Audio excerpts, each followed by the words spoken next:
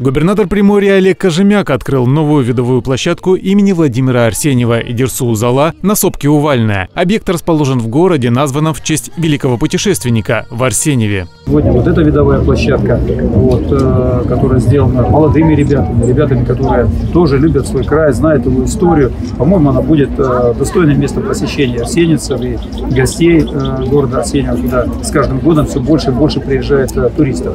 Памятник открылся в Владивостоке, вот, то есть э, памятник, э, их два открылось памятника там. Я думаю, что то наследие, которое нам оставил Владимир Николаевич Арсеньев, э, оно живет в сердцах всех дальневосточников, приморцев особенно.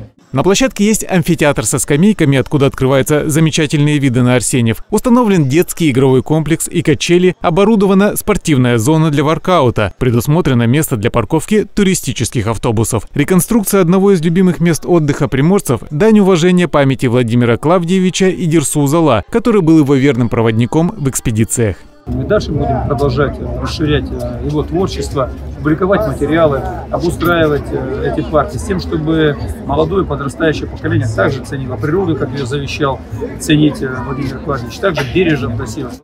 Изюминкой праздничного мероприятия стало выступление аэроклуба Арсеньева, пролет самолета с парашютистом на буксировке тросом. Также губернатор вручил благодарственные письма за проделанную работу директору по строительству Вадиму Герасименко и прорабу Сергею Швецу. Олег Завьялов, Анна Дьякова. Новости на восьмом.